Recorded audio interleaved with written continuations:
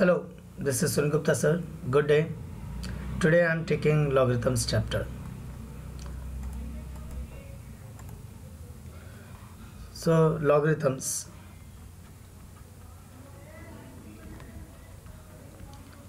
Why are we studying this chapter? Logarithms.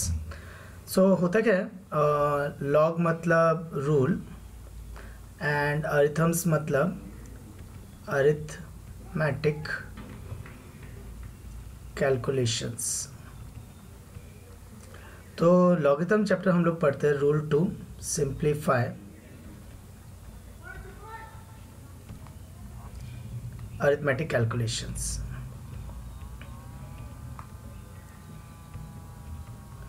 rule to simplify arithmetic calculations तो जैसे for example क्या होता है, अगर मान लो seventeen into one point three five है तो ये ठीक है, हम लोग मल्टीप्लाई कर सकते हैं.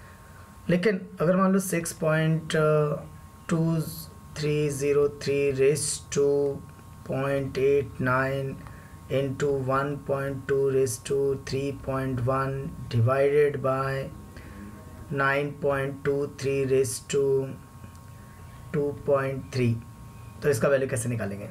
और ये ह्यूमन कैलकुलेशन से पॉसिबल नहीं है। इट्स वेरी कॉम्प्लिकेटेड तो हम लोग क्या करते हैं? लॉक की हेल्प लेते हैं। तो लॉक क्या करता है? ये कैलकुलेशंस को सिंप्लीफाई करके देता है। तो but we have to understand कि लॉग ये कैलकुलेशन कैसे सिंप्लीफाई करेगा तो उसके लिए हमें पहले समझना पड़ेगा कि लॉग काम कैसे करता है। तो लॉग को पढ़ते कैसे हैं? लिखते कैसे हैं? लॉग के रूल्स क्या हैं? लॉग ऐड कैसे होता है? लॉग वर्क कैसे करता है? तो वो हमको समझना होगा। तो rule to simplify arithmetic calculations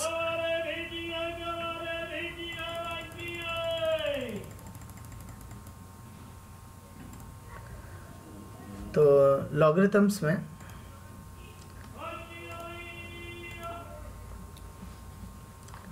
तो जैसे मान लो कोई पॉजिटिव नंबर है पॉजिटिव नंबर पॉजिटिव नंबर जैसे 49 तो इस 49 को दो तरह से लिख सकते हैं। एक है लॉगरिथमिक रिप्रेजेंटेशन और एक है एक्सपोनेंशियल रिप्रेजेंटेशन तो logarithmic exponential representation like seven का square is equal to forty nine logarithmic representation यानी log of the number forty nine to the base seven equal to two तो हो क्या रहा है कि हम लोग जस्ट नंबर को जैसे फोर है तो मैं फोर को फोर नहीं लिख रहा। मैं फोर को टू का स्क्वायर लिख रहा हूँ, कभी रूट सिक्सटीन लिख रहा हूँ, कभी एट बाई टू लिख रहा हूँ। तो फोर फोर ही है। Two square is four root sixteen is four eight by two is four लेकिन लिखने का तरीका अलग कर दिया अलग कर दिया। स्क्वायर रूट के फॉर्म में लिखा, ये डिवीज़न के फॉर्मेट में लिखा, ये पावर के फॉर्मेट में लिखा। तो उसी तरह से नंबर को बस दो अलग तरीके से लिखा है। And the interesting thing both are convertible तो मतलब लॉगरिथम रिप्रेजेंटेशन से एक्सपोनेंशियल भी लिख सकते हैं और एक्सपोनेंशियल से लॉगरिथम रिप्रेजेंटेशन भी लिख सकते हैं। नेक्स्ट इसको क्या बोलते हैं? तो this is this is positive number ये जो भी होगा, वो एक पॉजिटिव नंबर होगा. ये जो होगा it's a base it's a base और ये जो लाइक लिखा हुआ है इट्स अ पावर और एक्सपोनेंट और index so also known as a power exponent and index similarly log में क्या होता है? नंबर जो लिखा रहता है, सामने लिखा रहता है. और बेस उसके नीचे लिखा रहता है। और पावर इक्वल टू में। तो this is positive number next this is base and this is power exponent और इंडेक्स तो this is the logarithmic representation next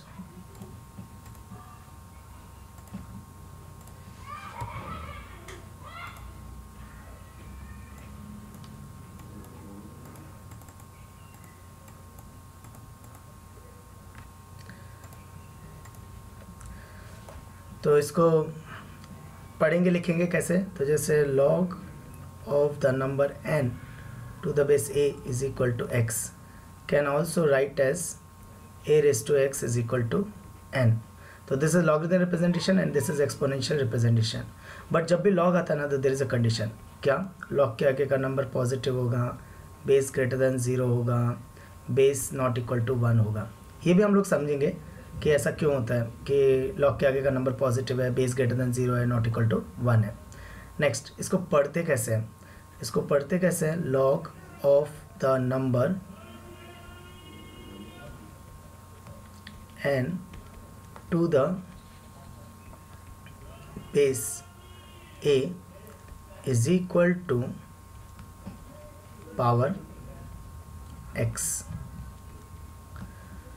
next तो ये A raise to X is equal to N बहुत are inter log को exponential में लिख सकते हैं एक्सपोनेंशियल को लॉग में लिख सकते हैं. बट कभी भी लॉग के क्वेश्चन सॉल्व कर रहे हैं तो बी केयरफुल कि लॉग के आगे का नंबर पॉजिटिव होता है बेस ग्रेटर देन ज़ीरो होता है नॉट इक्वल टू वन होता है. नेक्स्ट इसको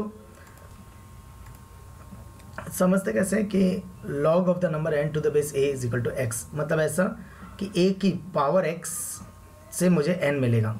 तो ए की क्या पावर हो जिससे मुझे एन मिलेगा? तो फॉर एग्जांपल जैसे log eight to the base two तो टू की क्या पावर हो? जिससे एट मिलेगा। Three log eight to the base two फिर log of nine to the base three three की क्या पावर हो? जिससे नाइन मिलेगा। Two next log of thirteen thirty one to the base eleven तो इलेवन की क्या पावर है? जिससे थर्टीन थर्टी वन मिलेगा।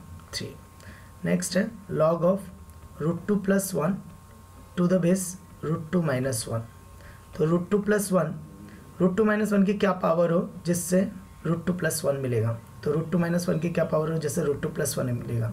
नेक्स्ट अगर नहीं समझ में आ रहा तो इसको लिख दो एक्स फिर एक्स लिख दिया तो यानी इसको मैं एक्सपोनेंशियल रिप्रेजेंटेशन में लिख सकता हूँ कि रूट टू माइनस वन की पावर अगर एक्स होगी तो मुझे रूट टू प्लस वन मिलेगा। नेक्स्ट राइट साइड में रैशनलाइज कर दो तो ऊपर आ जाएगा रूट टू माइनस वन नीचे रैशनलाइज मतलब ऊपर नीचे रूट टू माइनस वन से मल्टीप्लाई कर दो तो नीचे A plus B A minus B तो वो आ जाएगा टू माइनस वन तो वन अपॉन और सॉरी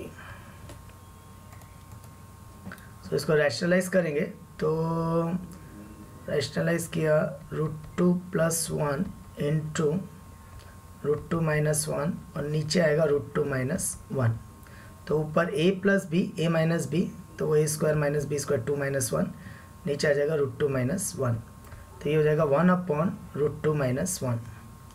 तो ये हो गया रूट टू माइनस वन की power X is equal to root two minus one की पावर माइनस वन। दोनों बेस सेम है तो पावर इक्वल हो जाएगी तो X equal to minus one. तो इसको ऐसे भी समझ सकते थे कि रूट टू माइनस वन की पावर अगर माइनस वन होगी तो रूट टू प्लस वन मिलेगा।